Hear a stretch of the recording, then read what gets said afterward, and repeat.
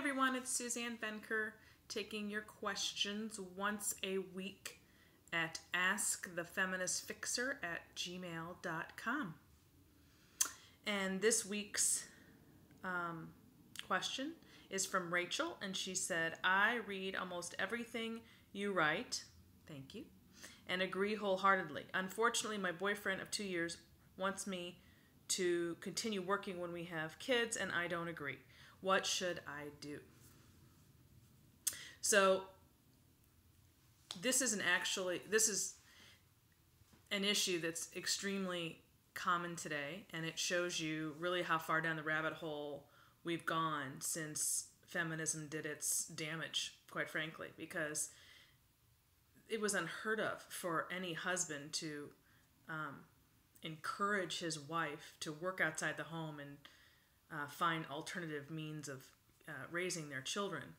Uh, in the past, that just wasn't. That was not. If anything, they didn't want their wives to work because it, you know, showed poorly on them. So, my how a few decades has changed things, and it's really um, sad because men are very, you know, I think in a lot of ways they've just been very quiet and sort of watching this whole um, revolution, if you will, transpire. And a lot of them really just go along with it because they, you know, they want to make women happy. And if women say this is how they're going to be happy, then they jump on board without really thinking through all the ramifications. But if you if you get with someone whose value system when it comes to work and family does not match yours, you absolutely should not be marrying that person.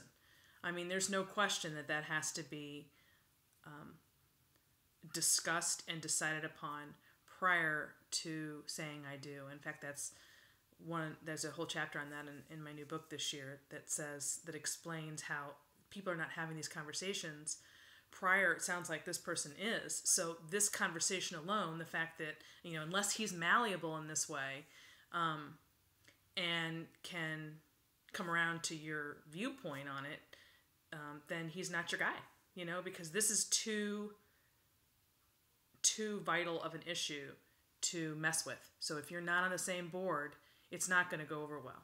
In fact in the book in this chapter that i'm talking about i actually explain what happened with my husband and me how that was when we met on the table right away. And it's made all the difference in the world. Like i just can't believe people don't have this conversation and get this down um, prior to having a family. But if it does come up and you're not on the same page then that's a deal breaker that's an absolute deal breaker um, it will not work out well because those are two completely different priorities and value systems that will um, clash, and you have got to be on the same page in that regard. So um, I'm sorry that it's that way today, and that we have so many men who've been um, brainwashed as bad as badly as women about um, the idea that that mothers should have children and and leave them in the care of others while they go to work full time. It's really it's it's very unfortunate. But anyway, that would be my advice for you: is um, run.